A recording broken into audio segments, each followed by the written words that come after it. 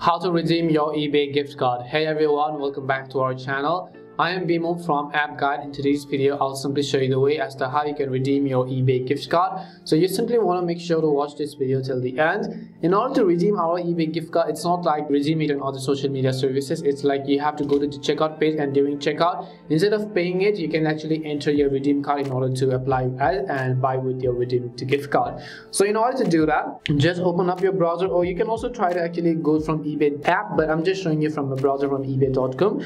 Once I go to ebay.com, I'll shop a few products and make sure that you've added them to your cart. So once you have and you go to your cart page by tapping on the cart icon from the top right. So let's say that this is a specific product that I want to buy. So I'll just tap on the checkout button uh, that says go to checkout at the bottom. Once I go to the checkout page over here, you'll basically be able to see all this information. Now you can select your pay with options such as select payment option, but for now I'll just select gift card, coupons and eBay bucks.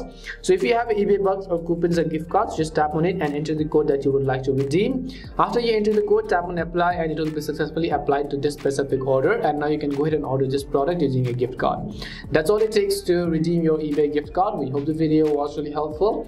If it did help you make sure to leave a like and subscribe to our channel. And if you have any more questions then make sure to also leave them down. Thank you very much for watching till the end and see you soon in our next video